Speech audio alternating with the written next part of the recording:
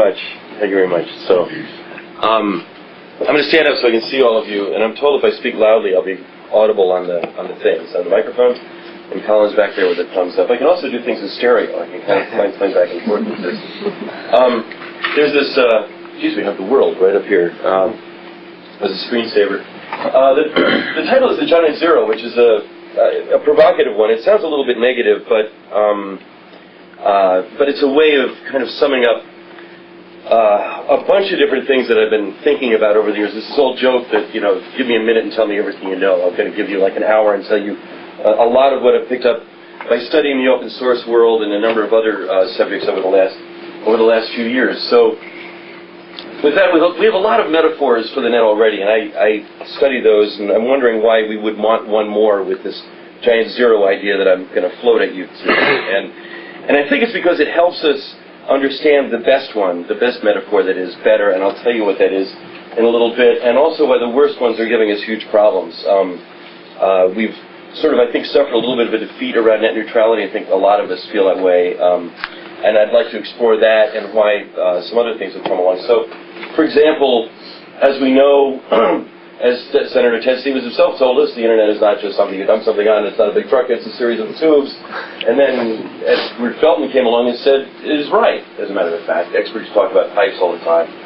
Is the gap between tubes and pipes really so large? So and it is it isn't when you reduce everything to content. Now this funny thing happened, I'm sure it happened to Dan and others among us who were journalists. A few years ago, we were writers, and then all of a sudden out of nowhere we found out we were content providers. You know, like our like our words got you know strapped into a large package and sold at Costco. Like they had like a finite quantity that could be shoved in a tube and shoved down or put on a truck or whatever. You could make this fine distinction between pipes and tubes and so forth, but you're still talking about content. I think it's a it's a problem. So for example, if you take a subject, you, it's not too oxymoronic to do a search for FCC and decency at the same time.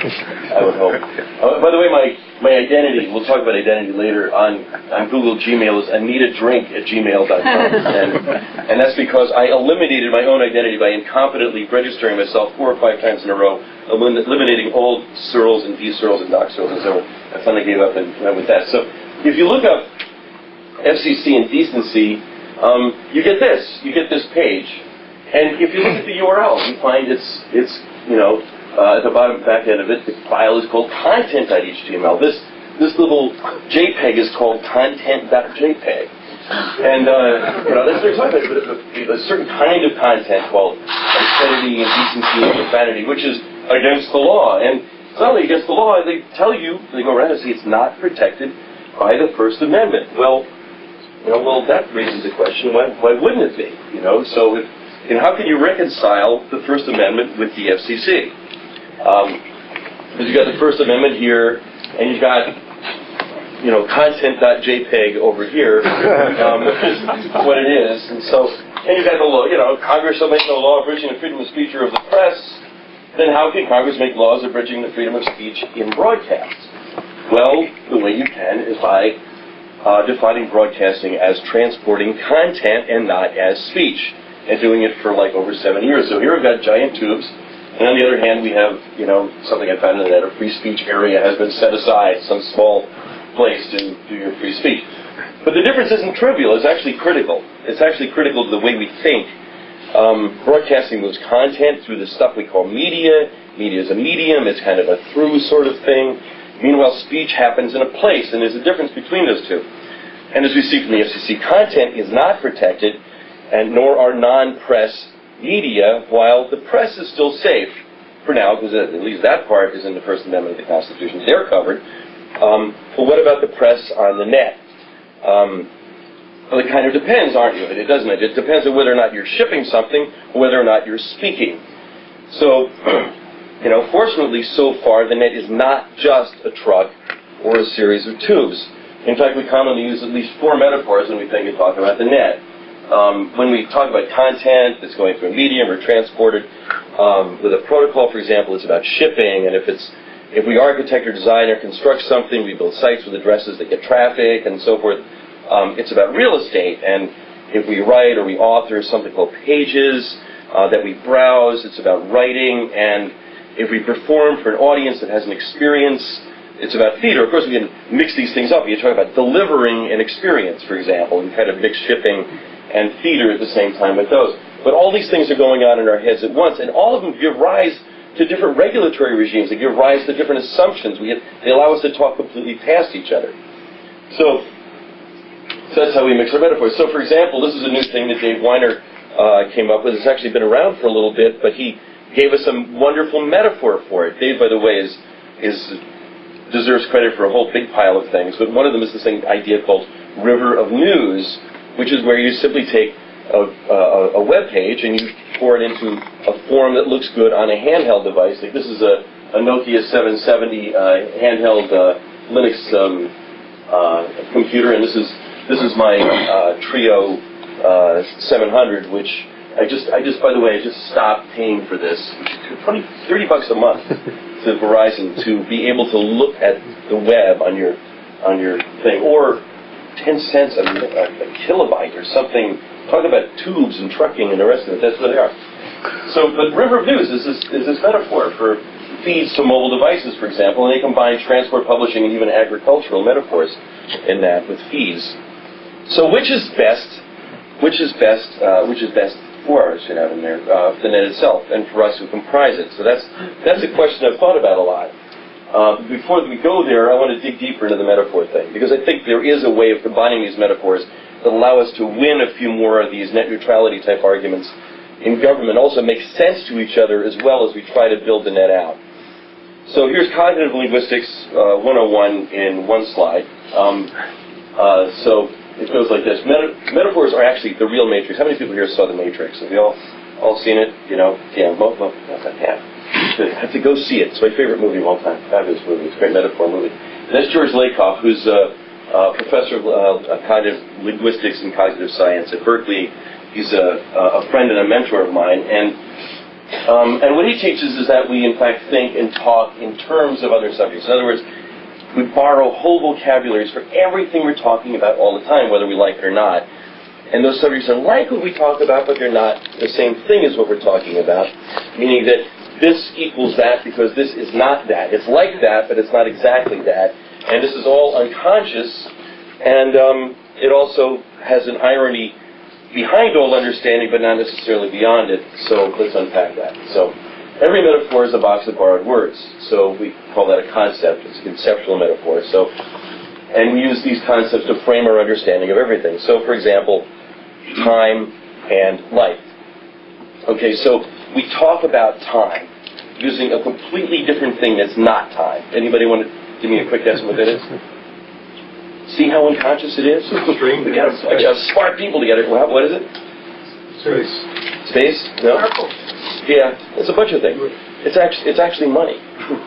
you know, we say we waste it, we save it, we spend it, we throw it away, we put it aside. You know, we invest it. All the, we borrow the language of money when we talk about time. We do it completely unconsciously. For life, what would it be?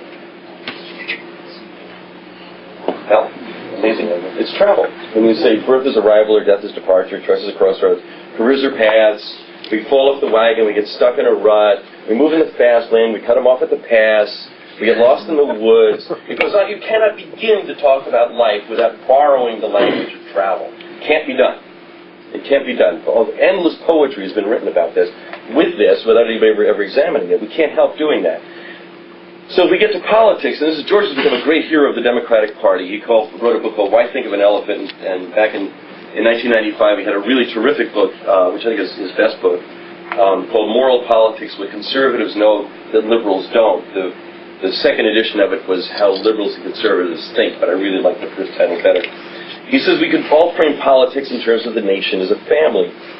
So here's George, and here's the nation, and here's a perfect family from 1952, namely mine. That's me right there, uh, sitting with my father, fresh back from World War II. There was this whole. The 50s was really great. Everybody, everybody's parents had exactly the same experience really wonderful. It's That's why we idealize the 50s, I think, to some extent. Anyway, he came to the conclusion, that conclusion, that he framed things as the nation, nation's family. After he heard this, he heard, why should the best people be punished? And he heard that from this guy, Dan Quayle, who was a, a former vice president of the U.S. and a great golfer and not a deep thinker. Um, but anyway, that's what Dan said to the Republican National Committee in 1992 And he was talking about graduated tra- taxation, where the rich people pay more than the poor people do, and um, and that's been part of the tax code since uh, forever. Um, but he doesn't like that, and a lot of conservatives don't like that. And it was an applause line, and he got a lot of everybody was clapping, and George was appalled. He said, he said, "Wait a minute, I why are the best people, you know, what is it about this? You know, why are the best people the richest? Why is taxation punishment?" And, and where did the vocabulary get borrowed from in order to, to make sense of this? Um, and, you, and he realized, wait a minute, I'm a cognitive linguist, and even though I'm kind of a Berkeley liberal guy, I ought to figure out what this is because these people are talking sense to each other, and I'm not getting it. So he discovered this. He said, the conservative box of words actually has a consistent set of family ideals, and, and those are these. When they talk, there's all the whole Boy Scout oath is in here. You have character and virtue and discipline and toughness and thrift and competition, hard work, property is important. You get rewarded. You know, you get you, you punish the evildoers. You know, you bring them to justice, right? Um, and common sense. Very conservatives love to talk about common sense. The liberals have a different box, have the same box, but it's a fam- different family box, and they'll talk about fairness and compassion and empathy and mercy renewable energy, alternatives, fulfillment, happiness. They'll talk about justice too, but they mean something a little bit different by that. Uh, self-respect, caring, that's the liberal box of words. And, and for both of them, those two boxes are kind of like, which you show both at the same time, they're kind of like chalkboards on the, figures on the chalkboards of each other's minds, you know. And, the, and, and so, so naturally, talk about neutrality. Oh, everything's evil, equal, and let's let's have neutrality. That does not necessarily play with your conservatives, which I, is one reason I think net neutrality was an unfortunate choice of word. So they think in terms of different idealized families. So here's your conservative ideal. You've got John Wayne, right? You know, well, Pilgrim, what do you want to do? So, and, uh, and I, I, took this from some, you know, someplace on the web. Who knows? From violating copyright. Anyway, that's the, what he calls the strict father model. The strict father model is an idealized family headed by a strict father um, who teaches a certain way, and so they come down like this. So the, the, the idea behind here is behind the conservative worldview is you start from the realization that the world's a dangerous place and also competitive. You need a strong, protective, morally strong leader who stands up to evil um, and has these virtues that you teach to your children. You know, which are strength, obedience, loyalty, respect, self-discipline, deferral of goals, uh, the goodness of wealth, freedom. That's uh, that's in both of the systems and and the liberals, on the other hand, will come from the idea that the world is a good place, and and that children are born good and they need to be made better. Um, original sin is not necessarily part of the liberal uh, uh, worldview. Highest values are empathy and caring and responsibility, community. That freedom's in there too. A point that George makes is that, in fact, a lot of the same words are in both value systems. They're just ordered differently. They're different. They're prioritized in a much different way because they come from a different idealized view of the world. So, now here's my point. I, I don't want. I just wanted to use that as an example because we're going to really be talking about the net and not necessarily about politics. So that does that does play, and I think we can learn something from the net neutrality example. But conservative political rhetoric has one really big advantage, which is that a dangerous world is more interesting than a nice one. Okay, children may be born good, but your bad children make much better literature on the whole. So, um, and it's a lot simpler too. And you know, it's an excuse to employ. This is the most important thing, the most powerful metaphor of all, which is of course war. As uh, George S. Patton said, compared to war, all other forms of human endeavor shrink in significance. That's what uh, George C. Scott put it, at least in the, in the movie. God help me, I do love it so. He knew what he was talking about. So no box of words is more handy than a war box, and as, as, as Dan knows, or any jur- journalist knows, you've got this box of words that are all about war. You can bring them into anything. They're really handy. You know, you, you bring them into sports, you can bring them into politics, you can bring them into sociology. Doesn't matter what it is. You know, you talk about conflict and defeating those guys, the war on poverty, the war on drugs, the war on whatever it is, terrorism. Of course, you know, it's a terrible thing. The world's a dangerous place war on terrorism makes complete sense to a lot of people. So, switch out of politics. So let's go back to the net again. So now that I've explained linguistics a little bit, you know, which metaphor do we want if we're going to try and emphasize one over the other or two over the other? And I think it's these two. I think that it's it's real estate. It's the sense that the net is a place, and at the same time that it's a place that supports a lot of things, including speech. So speech happens in a place. So it happens to be real estate. So it's a place for free speech through writing and hopefully equally protected forms. And there's nothing wrong, of course, with the other metaphors. We're going to be using them anyway, but we can't we can't help doing that. But we need to stand on and for the net as a place where free speech happens, and because we need to get the conservative majority that's in Congress as a place where free enterprise happens as well. That's something we've never emphasized very well, I think we need to, which together appeal, I think, to both political framing systems. So, about speech and content. I think speech informs, and is not just about delivering content. So we go back to Dan or we go to George. And, and the difference between informing and delivering content is critical because information, we talk about information as if it's a commodity. You know, I'm going to deliver information to you. You know, I want some information from you. You know, books are filled with information as if it's a, a solid thing. Yet, it's derived from this verb to inform, which is derived in turn from the verb to form, which means that we actually form each other. So, I mean, if if if, uh, if if Colin tells me something I didn't hear before and I didn't know before that's interesting to me, I'm changed by that. I can't now suddenly say, I'm not going to wipe that out of my mind. Oh, I have that information, I'm going to put it away now. I don't have that information anymore. No, I'm changed by it. We are all constantly changed by each other.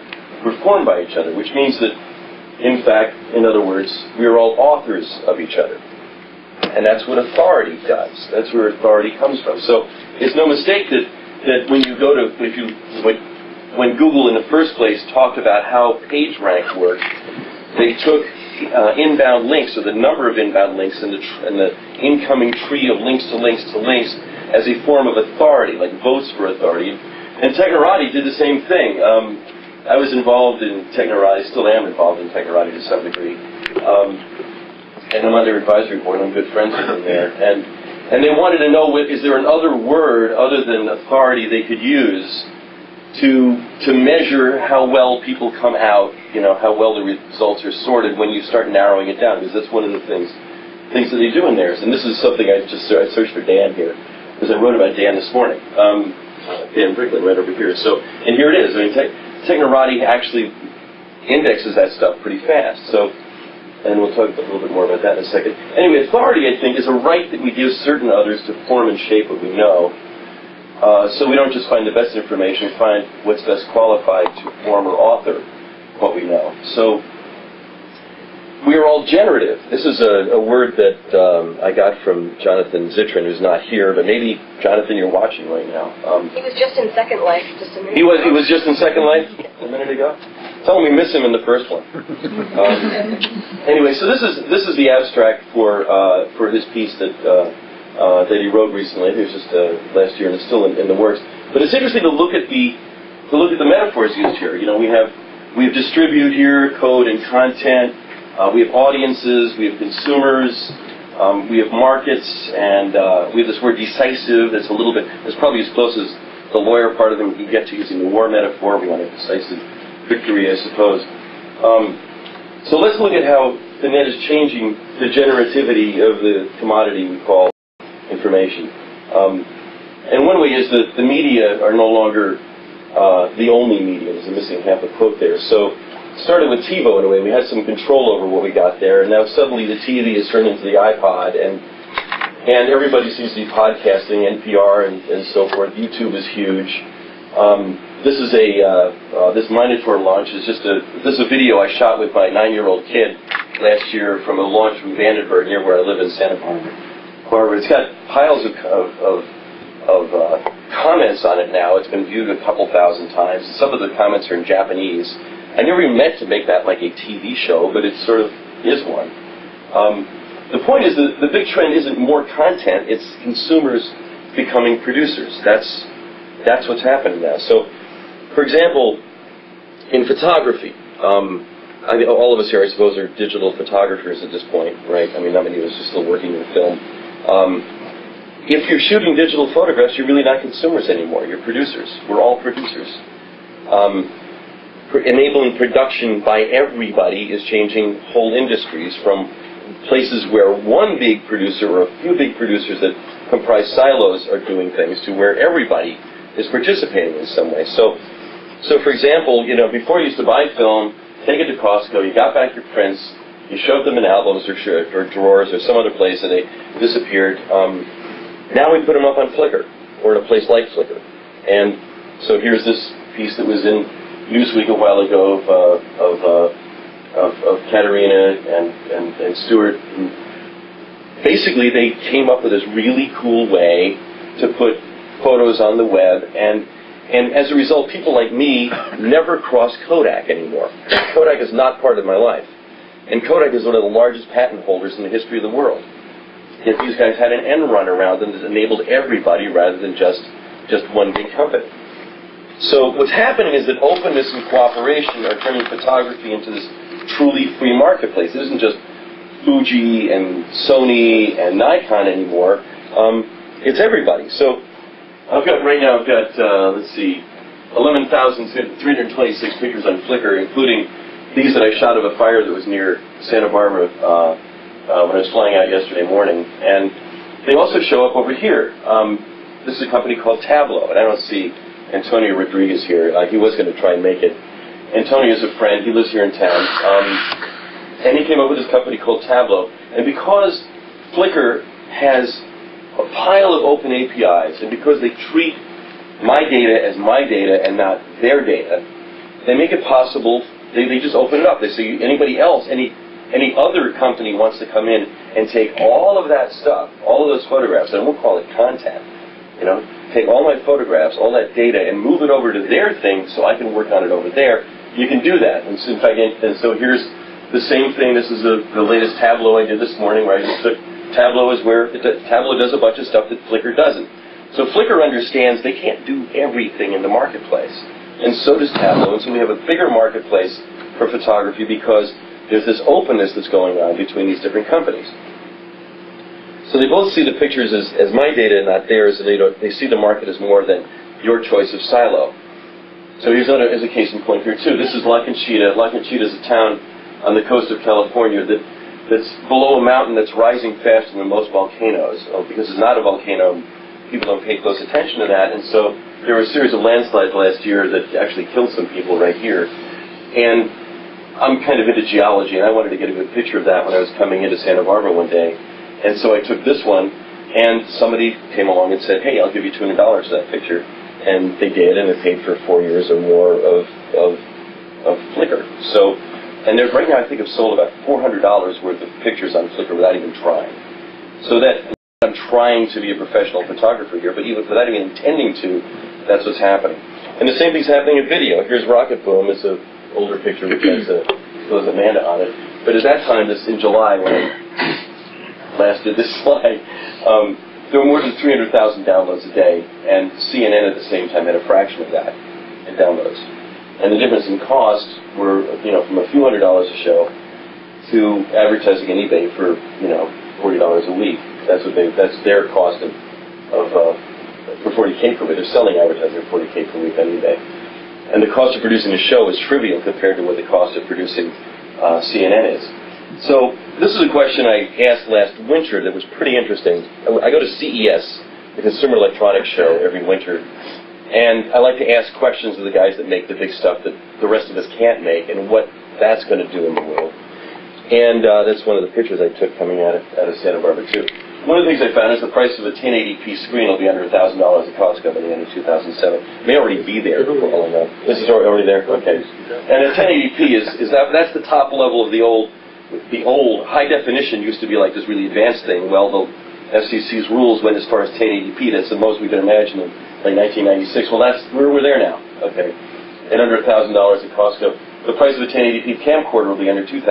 A lot of the recent Star Wars movies were shot on 1080p video cameras, kind of almost secretly. They wanted to see if people could tell it wasn't film.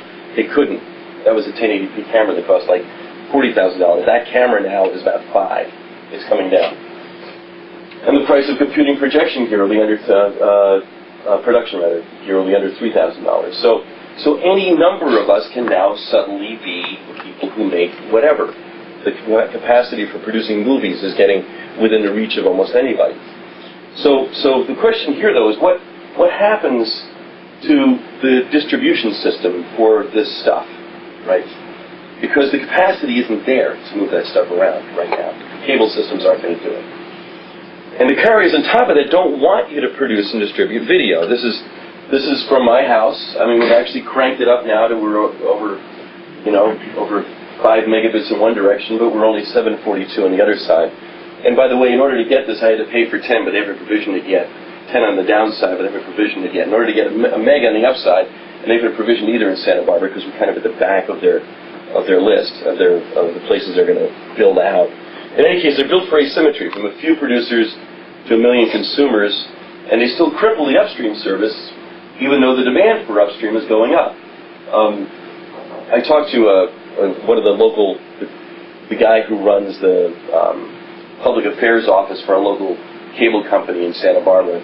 We had this big meeting. There's a room filled with about as many people as are here.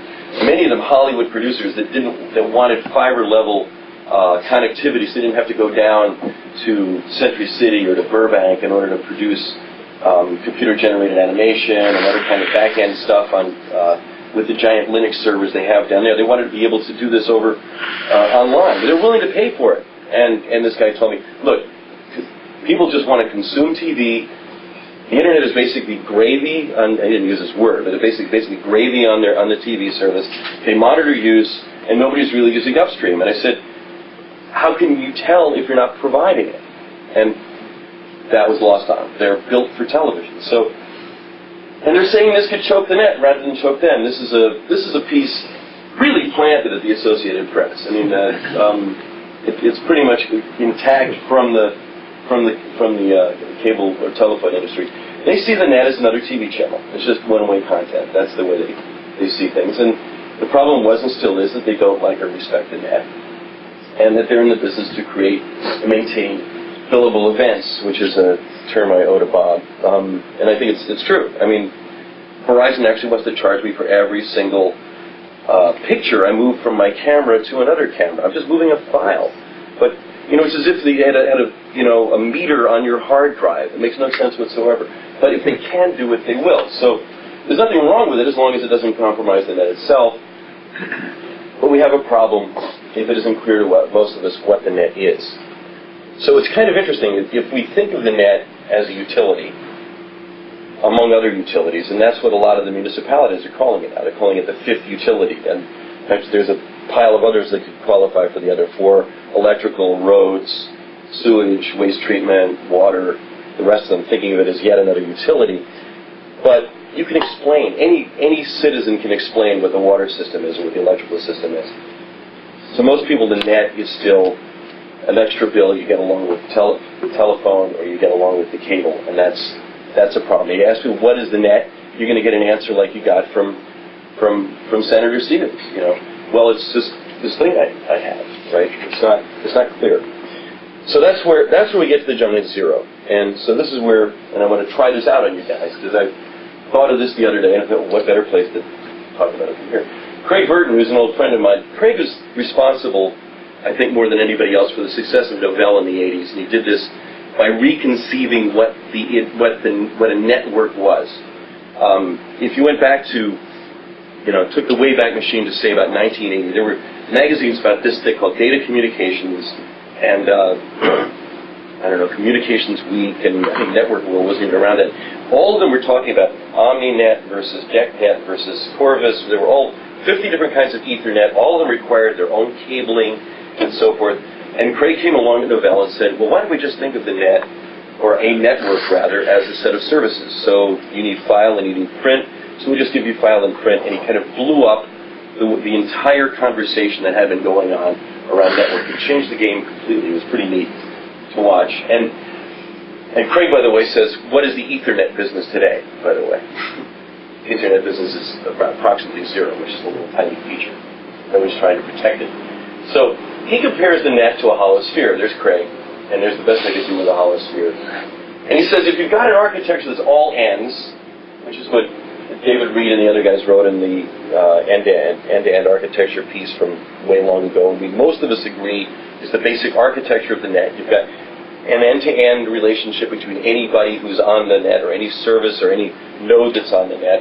And if you listen to David Isenberg, uh, and another alumnus of, of, of who wrote still at AT&T and got fired for writing it, has had a really nice consulting career talking about it ever since. Um, um, and, and, and changing the world. He's doing a great job. So he, he came up with the idea, well, it's got to be stupid in the middle. Well, so Craig says, well, you know, if you do it looking at this geometrically, a hollow sphere is, you know, the nature of a sphere is where any two points can see and see each other across it. So I thought it was a pretty cool thing.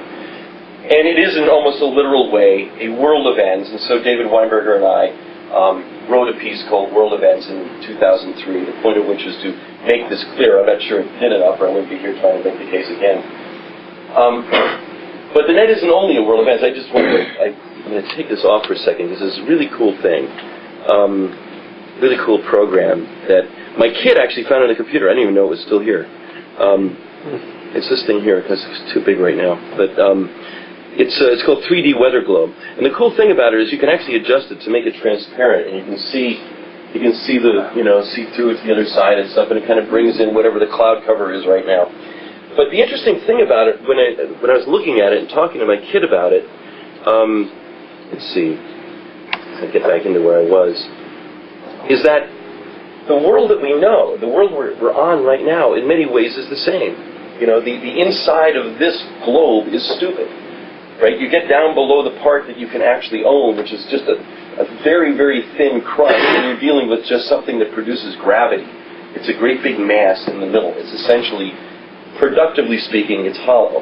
But the net, in a way, is our improvement on it. it. The way Craig puts it is, we've invented a second world that we've only begun to terraform. We've created a whole new world to our specifications that overcomes some of the difficulties we have with distance in, in, the, uh, in the physical one. So Marc Andreessen, when I interviewed him, when I started with Linux Journal, I started actually in 1996, but in, uh, in 1998, um, Netscape open sourced Mozilla. And I had a long interview with Mark. It's the first time I met him. And he dropped this line, which has stuck with me ever since, which is technology trends start with technologists. They don't start with marketing people. They don't start with CEOs.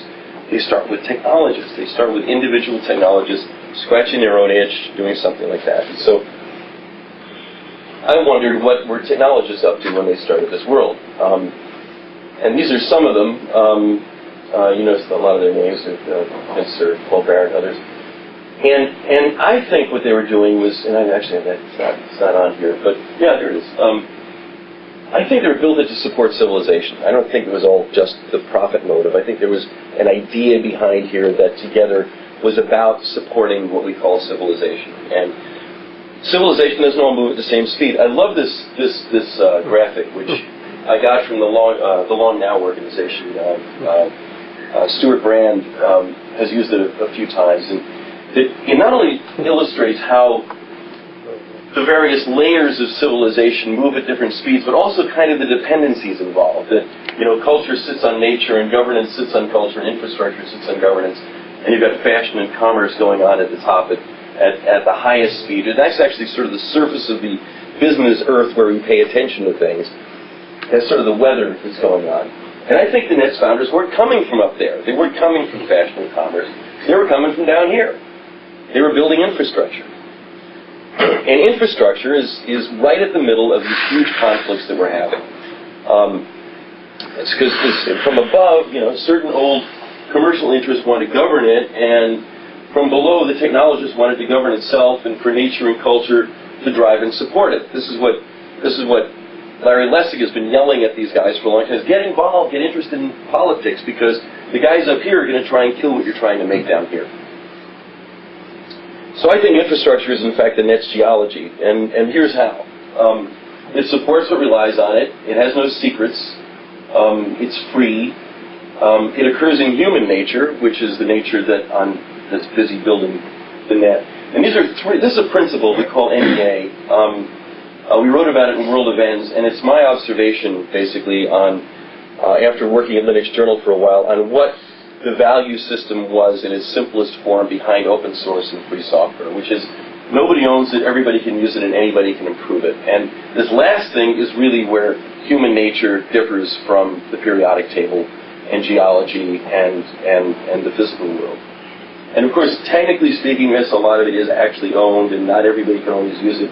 But this principle here has everything to do with why open source is kicking ass. Um, in the world. So the anti-net forces don't understand infrastructure, and they haven't. That's uh, Edward Whitacre of, of AT&T. It's the only picture I could find of him. It was really appropriate too. Um, and uh, and Jack Valenti of, uh, um, of formerly the MPAA. Um, you know, they don't know where it comes. You know, nowhere care where the net came from or what it means to civilization. They only understand content and distribution. They don't understand the infrastructure that forms and changes faster than business and fashion. That's a line actually I got from Rob Glaser of Real Networks when I showed him this. Uh, I actually I showed an earlier version of this to Tim O'Reilly, who said you have to show this to Rob Glaser. And Rob made the point. He said, "Yeah, that's what happened. What happened was that these guys were used to this stuff ch- changing slowly. Along came the net, and along came open source and free software and lots of autonomy by individuals that kind of yanked the rug out from under these guys. They didn't know what to do with it because suddenly, like nature changed faster than they expected. So they feel threatened by it. Naturally, they want to uncontrol what's inherently uncontrollable. And of course, they naturally want to build what's, you know, what's naturally free. In the meantime, the techies want business infrastructure to support business. So um, these are just a collection of shots of, of techies. These are, I, I, don't know how many people are familiar with Jabber. A few of you, the more technical among you. Jabber is kind of open source instant messaging. This was the Jabber team about four years ago. The average age was 18. Okay, the old man here was Jeremie Miller, who came came up with Jabber, and the and the name, and I think he was 22 at the time and already had like three kids. They're, you know, they call meetings and you know have to get permission. This guy's mom for come. yeah, these are. I mean, I think one of these guys is like 13 or 14. Um, you know, brilliant, modest guys. But you know, what they wanted to do was invent something that would support everybody and not just themselves. Like, wait a minute, our choice of silos isn't working for us here. AOL versus MSN versus Yahoo versus whatever is failing. Let's get something here that actually works for everybody. And uh, so I think infrastructure supports markets. We talk about markets all the time, and markets happen up here. And there's this issue of opposing perspectives. So while the commercial interests often don't see the free and open sources of infrastructure, the free software and open source techies who are down here and that I deal with a lot, often don't see the creative nature and accomplishments of commercial interests because an awful lot of creativity actually happens up here. Um, so there's a perspective on this that I got from Craig Burton and uh, as well Jamie uh, Lewis, who now runs the Burton Group, which is named after Craig. Um, Craig observed that in the open source world, we often make this distinction he thinks is false between open and proprietary. He thinks of actually collapsed distinctions here, that the opposite of open is closed the opposite of private, uh, proprietary is public domain, and that if we actually want something that ha- that works up here, that where you've got open and public domain as as infrastructure, we want to be able to freely create and use infrastructure. So there's a I can unpack this a little bit more, but there's a there's an awful lot of stuff that gets started here and ends up over here, and that's actually a strategic way to approach uh, creating infrastructure. So an interesting question is how these fit together. So we've got two different kind of models. There's, there's the civilization model that I just talked about, and and um, and the, the Burton model here. And I think if you rock this one forward on its nose, both of them have infrastructure in it. You get something that looks like this, where you've got infrastructure down here, and you have commerce up here, hmm. open and public domain down here, proprietary and closed up here. And here's how it ought to work. You have infrastructure supporting commerce from below, and you have commerce contributing to infrastructure from above. That's sort of a natural way. Uh, Tim O'Reilly calls it forming humus. So we have, you know, we invent the spreadsheet, we try to make money with the spreadsheet, and now the spreadsheet's kind of a generic thing, and WikiCalc is forming over here, and home networking, Bob's doing cool stuff with taking thoughts about that to whole new dimensions. But but there's a natural relationship that ought to be happening here that really is symbiotic and good for everybody at all levels. And I think we need to understand that a little better. And commoditization, uh, commoditization is this idea, not this idea, but in, in the in the software world, especially in the in the part of it that gets funded, commoditization is like this terrible end state that is devoutly to be feared by every startup. Like, you don't want your idea to get commoditized. When in fact, actually, commoditization is a good thing. It's it's it's what we we would not have the entire construction industry without it. You know, commodities are actually, you know, there actually is money in commodities. Um, Don Marti says information doesn't want to be free. Information wants to be 695. There's, you know, there is some friction in making whatever it is, and there's money to be made wherever there's that friction. So, but in any case, commoditization is what you do for your markets, what you do for your customers, for yourself, and for the rest of civilization. And um, on the other hand, this is, I think, how Hollywood and the carriers see it, which is you take your patents and your copyrights and your IP laws and you push them down in infrastructure, and that in turn supports everything that sits on top of it. So commerce governs infrastructure. You get commerce down under here, and the natives can go to hell. of course, the people are producing all this nature down here. And uh, the content corpus, I think, have familiar plans for the next natives, which is, you know, well, you can go do your kind of pre-open thing over in here while we do the real business out in the rest of here. And if you, if you, I, I've tossed out a few slides here, but if you read a lot of the, you know, even what some legislators are writing to citizens about when when they're talking about the free the freedom of the net and so forth. It's like, oh, you can do that over here, but really, you know, we need to support business, and business is not about that, and the net's about business. So, I think the win for everybody is to see the net as a marketplace. Um, you know, technologists made it. The rest of us are generating it every day. We need to finish unleashing our generative powers, and that means going beyond seeing markets as transactions or even conversations. And so, this is where I get to talk about markets. Um, uh, I've thought a lot about markets over the years, and um, we talk about them all the time as if, and this is what gave rise to Cluetrain to some degree, because uh, David Weinberger and uh, Chris Locke and I were found ourselves, this is like 1998, on the phone a lot talking about how crazy it was that billions of dollars was going to fund new internet companies doing exactly what people did before. You know, portals, malls, you know, retail establishments that were kind of replicas of what we found in the physical world, and using the same jargon. And you know, so and you talk about seats and eyeballs and, and the rest of it. Um, so the first thesis of, of the Cluetrain Manifesto was markets of conversations. And by that we meant, we've often been asked, what did you mean by that? So I'll tell you. So we're saying that markets were not just all these other things that we call markets, bulls and bears, invisible hands, forces, battlefields, by the way, the, the metaphor for markets on Wall Street is entirely natural. It's all animals and feelings and impulses and the rest of it. Um, all of us use playing fields as because versus the war thing. Um, we'll talk about markets as demographics. We'll talk about it as regions. We'll talk about the China market as if everybody in China wants the same thing. Um, sectors, and of course, a synonym for demand. If there's a market for something, it's a, it's a synonym for demand. And essentially, all of it, though, is stuff that reduces to transactions, and not much more than that. And and uh, so, yeah, I repeated myself there. Yeah. Department of Redundancy Department. Um, so what we said was that, you know, before there were all these other things, markets were these real places where people gathered to do business and make culture. So after Cluetrain came out, that was like Cluetrain in three minutes or less after it came out, we got this really helpful feedback from the real marketplace. And here's one of them. This is Eric Raymond, um, who's in many ways the father of the open source movement. He certainly did more than anybody else to, to promulgate it. And also from people I don't have pictures of. One is a, a, a priest I know, Father Sean O'Laoire, who came uh, to Palo Alto by way of, from Ireland by way of Tanzania, and um, and a guy named Pastor Shayo Ajiboye of Nigeria, who I found myself sitting next to on a plane. It was one of the most interesting characters I ever met in my life. And um, there's Eric. But they all said the same thing, which was interesting. They all said, well, yeah, markets are conversation. That's like really, you know, good for kind of like a middle class guy from the first world. But over where we come from in in in the less developed world, that's kind of an obvious thing that markets are conversations. You have, in fact, even with transactions, you kind of discover the price inside of the conversation. So they're more than that. All of them said this: markets are also relationships. You know, so, and of course, um, markets are these three things, right? I mean, I think we can actually take when we talk about markets, we can talk about we can kind of isolate it into these three different baskets.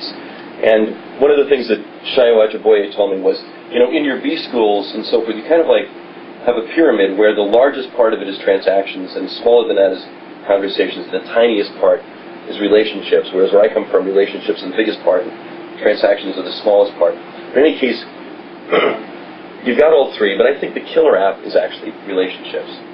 It's what people do with people, and and not just the, these other parts of it. So, And I think we're just beginning to understand how killer that can be. And the problem is the traditional uh, search, for example, if we just look, look, um, actually there, there's a, I, I skipped some stuff here, it was a, for, for time, but there's a, I think relationships are happening in what I'm calling the live web. And the live web, I think, is very different from the static web. And the static web is what we see so far. It's got the real estate part of it, but it doesn't have the life that's going on on top of the real estate. So, um, if we search for sites that are designed and built at addresses, um, basically, you know, there's a there's a way of doing that, and Google's very good at it. Um, uh, but the you know, but where, what's happening in the live web, where blogging and podcasting and conversation and relationships happen, and does Google and for that matter Yahoo or MSN or any of the big guys actually search that stuff? It's kind of it's kind of interesting because Google actually has blog search. How many people here use Google blog search? Three of you? And how many people use Technorati? A lot more. Okay. Google Blog Search is Google's Technorati. Okay. It's and and this is what it looks like. You go there, it looks Google-like, and they make this interesting distinctions. You can you can search blogs or you can search the web. Why is there a difference between blogs and the web? Um, you know, that's kind of a, a big hmm, I would think. So I think the reason that they say that is because this is in fact branching off of that. And that's going on right now. The live web is branching off the static web. And it's the branching is actually when it's happening between space and time. So this is space, you know, you search for something on Google, it's static. And what you're searching for in Google Blog Search is something that's changing over time. So in, in, in the way those are built, what Google does is sends out its bots to search through billions of websites, seeing what changed. That's what they're looking for. What's changed? And what Technorati and Google Blog Search does is just listen to RSS feeds. And then they'll index those things. They only look for what's live or what's happening in time. So when one does one and one does the other, looking at syndicated feeds and indexing just those, there's an interesting thing. Technorati's goal, and the Google people tell me the same thing, is a, is a time to index of under one minute. And that's what I was kind of exploring by looking for something I wrote about Dan this morning. Just under one minute between actually writing something and seeing it in an, in an index. So they're responding to you know science for life, science of life. So what are the other differences? Um, you know, there's one is this you know the static thing. We want to get traffic there, uh, the information having runs through. But the main difference is that this is the live web is about time and it's about people, um, and it's people's time and you know people who write blogs and uh, author other journals. I, I think it's just the beginning. Like the bloggers are kind of the tip of the live bird of what's going to ultimately happen with all the relationships we're going to have on the net um, that they expect to be syndicated. So on the one hand, the static web is this haystack, and this is we're going to get technical here. So this is a this is a essentially a Unix file path, you know, a straw in the hay in, in the haystack. Um, because what happened when the web was created, and kind of a virtue of the web, is that it was completely chaotic. There was no directory. You know, when, when Novell created a, a, LAN, it had a directory service and all of these kind of advanced features. The web was born without any of that. It was just pure chaos. So we actually need, you know, a vast kludge, frankly, of millions of servers looking at everything to give you something that's like a directory, and that's what Google gives you. So, because everything to the right of this first slash is just, you know, chaos. But we're used to it. We're used to it. It seems like a normal thing to have that chaos out there. And that's why we need search engines. But the live web is organized chronologically. This is a search for Reboot 8 back when, when that was going on. And uh, Technorati sorts things out across time. And they give you a little graph of that. And, you know, and here's a virtual URL structure. Blogs, if you look at all the ways the world can be organized, this is an interesting thing about what blogging has done. Um, you can organize things chronologically or categorically or alphabetically or uh, geospatially. There's a number. There's a limited number of ways that you can organize things. The web was actually organized in none of those ways until blogging came along. Blogging actually has a virtual structure to it. It has. It says, you know, you've got your blog and there's year, month, day, post, and that's a permalink. When you link to that particular post, that's in it. There's an implicit organizational structure to the live web so far that is different than the rest of it. It's not like the static web. It actually has a time aspect to it. It's what people do in time. So it's not a haystack.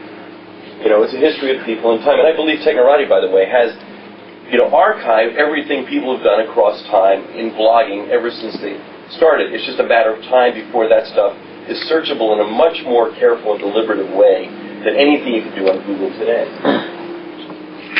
So what's going on with the live web? I, um, I think of it as one great big declaration of independence in the sense of people who are independent.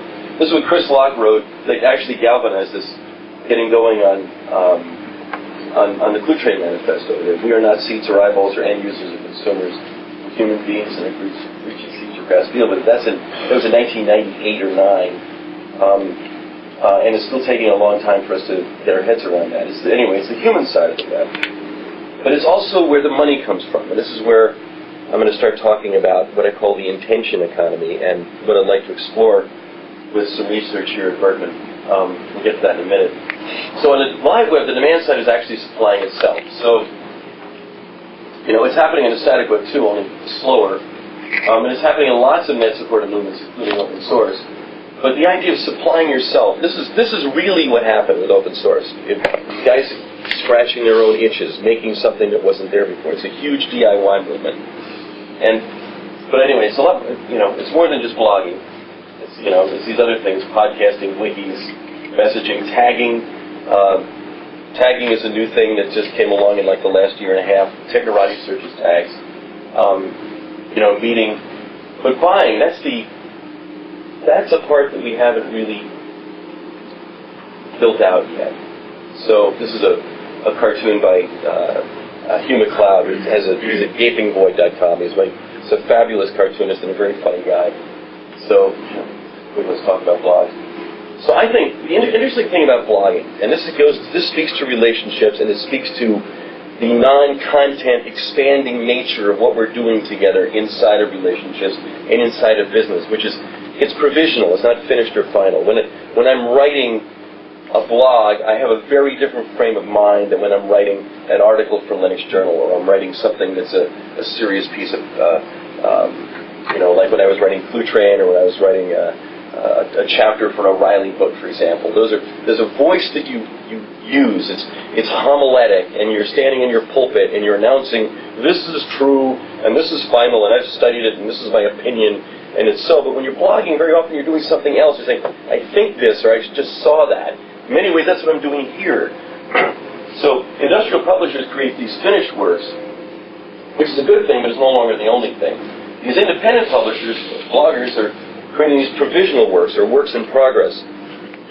so, and this is a metaphor I got in a conversation with George Lakoff. Um, George had been down to Santa Barbara and um, and given a speech to to the Democratic elders of the town to give them some hope that that the Democratic Party had they got their vocabulary right would be able to finally um, defeat the uh, Karl Rove at what he does much better than they ever will. But anyway, um, afterwards, we we're, George was actually stuck at the airport. We are having lunch, and a friend of his said said George said, "Well, Doc's kind of a big time blogger, and and and and uh, and, and uh, that's what George said." And the guy said, well, what's a blogger? And George explained it, and it was good, but it wasn't quite there. And so the guy said, because he's a good liberal and he funds George's think tank, which is called the Rockbridge Institute. He said, well, what you need to do is uh, fight for women's rights and end war. And, uh, and he listed a whole bunch of liberal causes. And, and I said, well, that's really nice, but those are rocks that you push up a hill, and those are nice rocks to push, but that's not what I do when I blog. I actually roll snowballs down a hill. It's much easier. And, and, or I just try to add some snow to some other snow snowballs that other people are rolling down the hill. So, and I think that's what the best of blogging is like. You, you roll out this idea, others add to it, and it keeps rolling, and it grows and gets somewhere. And when it does, it's not just yours anymore. You know, so like the idea that blogging is rolling a snowball is not my idea. Other people have written about this. It's it's had a snowball effect of its own. You can't really own it. And open source works this way as well. There's it's you know you know it's no longer just your idea. So podcasting is this great snowball example. I, in, in late, uh, I see, 928, 2004, I, I wrote that podcast currently brought up 24 results on Google at that time.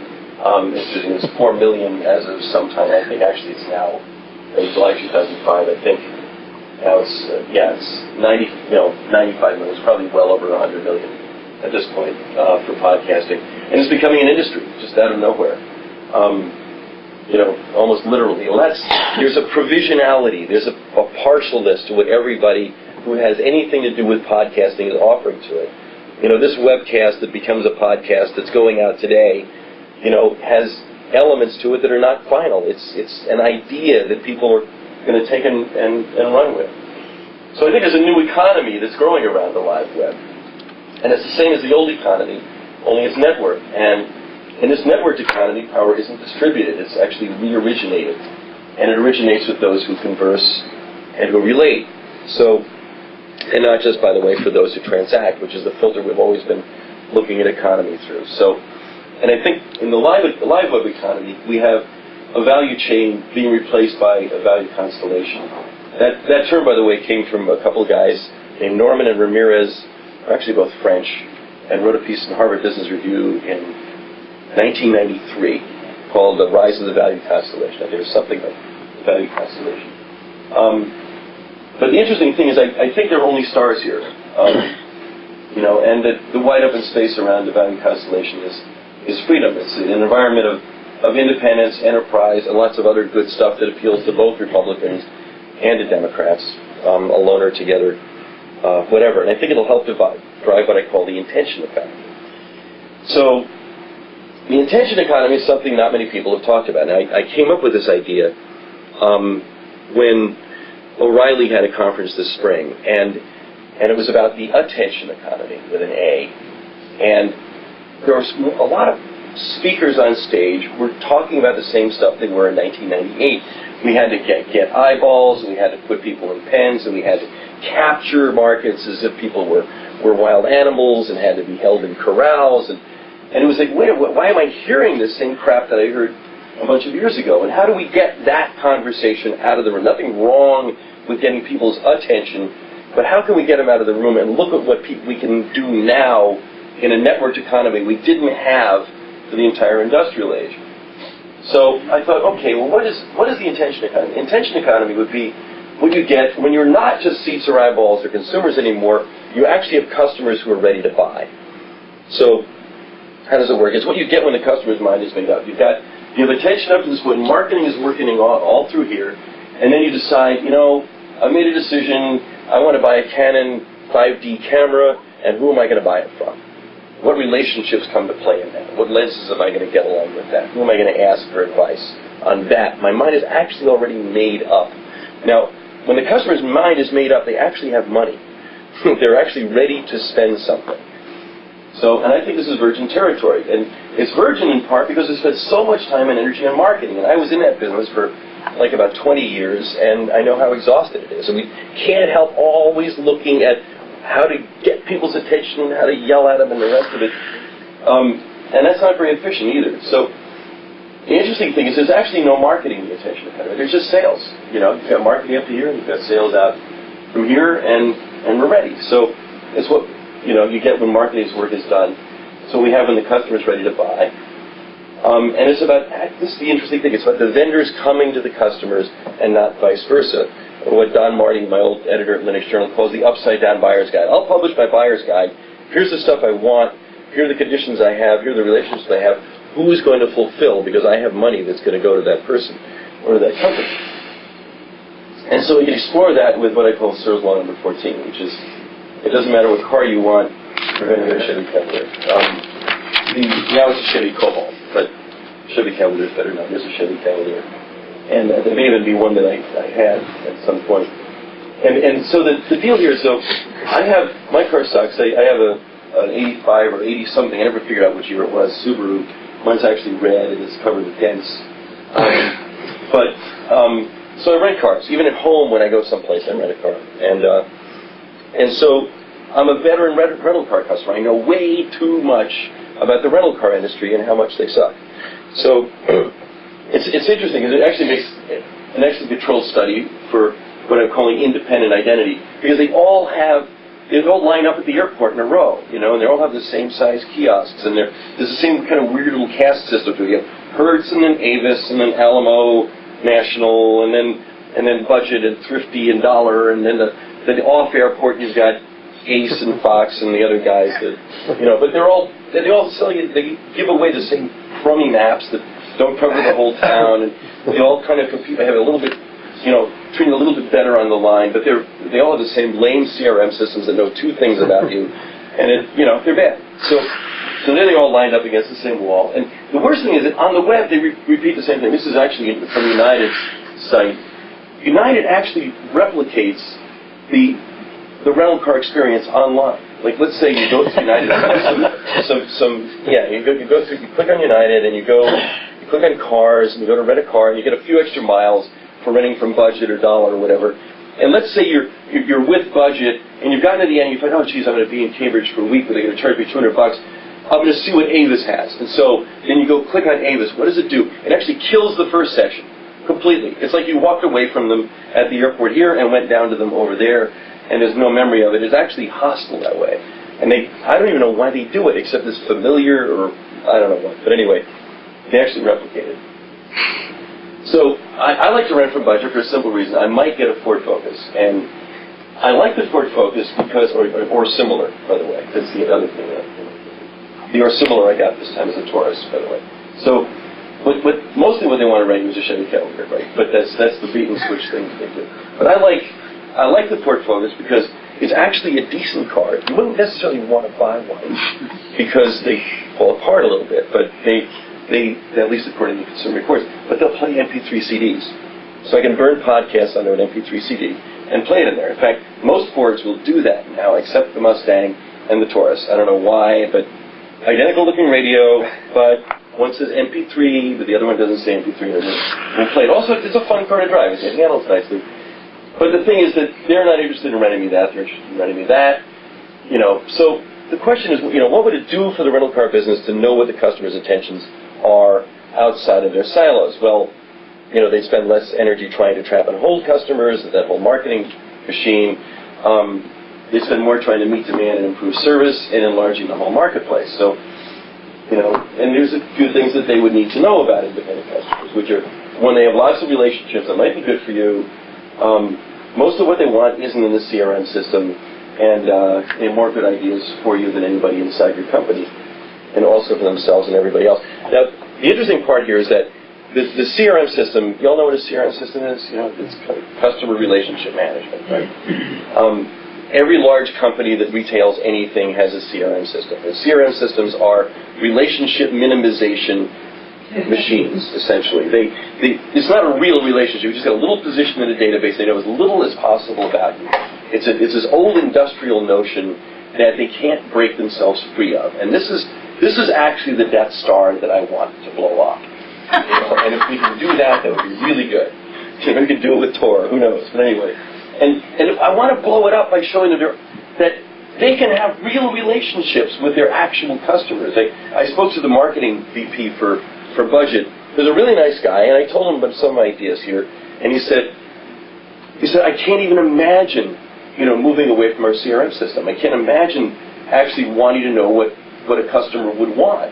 And I said, why not? He said, it's just too hard. It's just, and I, and I said, wait, wait a minute, you rent, you know, twenty, thirty thousand dollar products to rich people.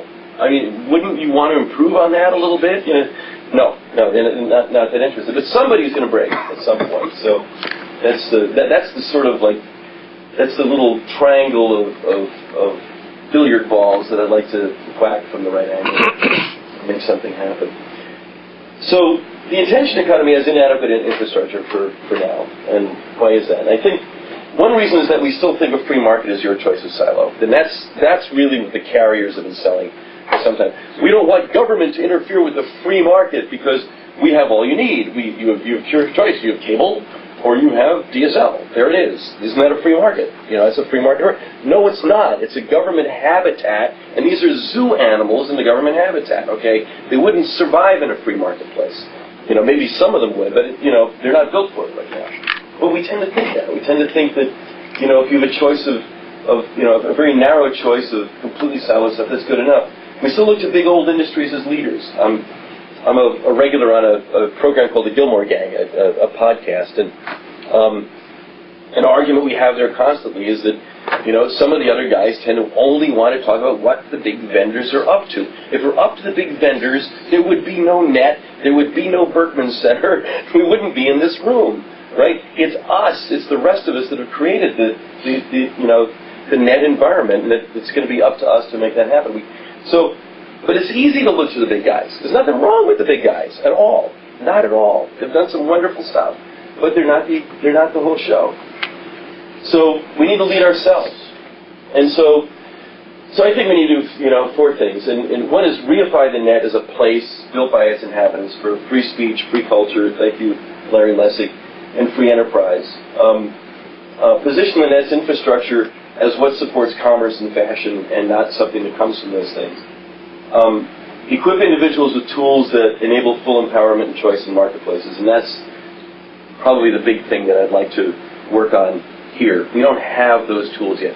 Nobody else in the identity conversation, which started, by the way, at a at a Gilmore Gang in December 31st, 2004.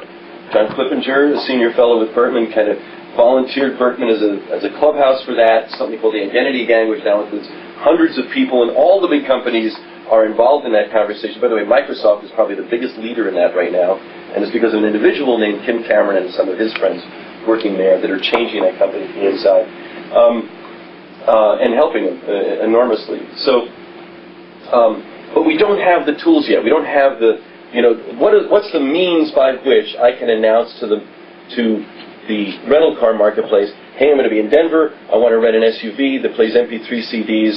Um, I have these relationships with these with these companies, and oh, by the way, I'm not even going to tell you who I am yet because I want to stay anonymous up to this point with a hat tip to Mary here, who's caring about anonymity. I think anonymity is part of how we work in the marketplace. And, and making that work, have, staying sufficiently anonymous while, and, and Shab over here too, with, with Tor, another an, an, an anonymity um, mechanism. We, we need to be able to preserve some degree of anonymity while we go into trans, into relationships and transactions. There's a very granular way that we need to be able to do this. We haven't even begun to approach and I'd like to approach those things. So, and the personal, tie personal freedom and generativity to relationships and the settings that, that we call markets. I think we need to give full respect to what individuals and related individuals bring. so I think the ends will be the means. Um, you know, the ends and the end, end network. That right now, citizens um, are taking both business and governance into their own hands and building that infrastructure at a local level. This is what Muni Wireless is about. This is what Muni Fiber is about. That's what we're doing in Santa Barbara right now. That's what uh, is a, a, a, huge ongoing conversation involving Bob and a whole bunch of other people um, who are trying to think this stuff through. And on one hand, we don't, you know, in any given municipality in, in the U.S., and this is kind of peculiar to the U.S. because we have jiggered the laws in such a way and jiggered the markets in such a way that our choices right now are between two monopolists. Um, how do you how do you um, how do you pay due respect to the fact that the incumbents are there? They have some good things to offer. There are benefits to incumbency that aren't just squeezing every possible billable event, and at the same time allow um, citizens at a local level to build out the infrastructure that they need. How can they do that? How can they do that in a pro-business sort of pro-citizen activist way? It's not easy, but they're doing it. They're doing it in, in and they, all of them are doing it differently. Every town is doing it in a slightly different way. They're doing it with fiber, they're doing it with wireless, they're doing it with whatever. Um, they're building the first driveways, the first acres, um, you know, and they're not putting toll, tolls on sidewalks, which is another wonderful metaphor I got from Bob. Um, you know, because we wanted to build things out you know, where everything gets charged for, we wouldn't have a road system at all. Hmm. so the unstated ideal, is, I think, is that the net should be as fast as your hard drive in that respect. So, I mean, the other end should be as functionally as close as your keyboard is to your screen. I think that's what the net wants to be. I think that's that's the end state. You know, not, you know, if I want Dan to be as close, you know, I talk right now. If I I can have an IM with Dan, but can I exchange a file with him very easily? No, it's not that easy. But that's the end state that we're all aiming toward all ends equal distance and a big zero. This is zero in cost as well. You know, as, as one of the guys on that list pointed out, you know, as I asked this question, I thought it was a, a useful question. What is the first cost of the internet? You know, and, and if you're looking at a value chain, well, there's got to be a first cost. What's the first cost? Well, the only answer I got that was useful in a way was light. You're blinking light in one end of a tube and it's coming out the other end. You can't even put something on it that says I see electrons. There's not even electrons flowing in here. What? Sense of tube. I said it's a tube. Yes, I said it's a tube. Well, it can be a tube, you know. But the end effect is there's not that sense of place. You know, there, there is a sense of place, but the, the sense is not that I'm I'm shoving something with mass through a conduit of some sort. So there's a zero there, and I think that would be it. Is it? No, a little more. There's a little more. Oh, I think yeah, we need to netify economics as well as law and other fields. And I know Berkman came out of. Uh, out of, out of the law school and we're kind of going uh, uh, university-wide. And economics is it's one of those areas where I have a great deal of interest and very little education. And but I also think that there's more. If we look at where the net is going and what the relationships are that are growing and how individuals and associations of individuals are contributing to the economy in a way that is not reduced to transaction, we have a new field of study of some sort, or maybe something that's been visited already that I don't know about and need to find out. In any case, I think the computer business is becoming a, construction business. I've been saying that, and I got that from the open source guys who use almost nothing but construction language and talking about what they do. Um, I think it's no accident that we design and architect and build software, and and that we have all these new uh, commodities that are natural building materials with completely human origins, and we keep improving and so I did get this from an economist, uh, uh, Charles Crissman, happens to be a cousin of mine, who's the number two guy at the felicitously named Potato Institute, but it's a big, uh, a big uh, development organization um, worldwide. They're headquartered in Peru. And I was talking to him about what goes on with open source and what goes on on the net and what is it that happens when we invent a WikiCalc or we invent something new that everybody uses. He said, well, it's a public good. And, but after we talked about it, we realized that public, the, the notion of public goods need to be enlarged by what's happening in these areas where they're created profligately and they cost zero to deploy. Right? So you can't necessarily make money with them, you make money because of them. Which brings us to what I call the because effect. And the because effect is how we make money because of infrastructure rather than with infrastructure. And that's what we need to figure out. That's, that's the key to helping the municipalities and the rest of us build out the net. We make money because of it being there, not necessarily just with it. Not that we can't make our 695 with it. We can make our 695. But it's not going to be a lot more than 695. And that is it. Thank you.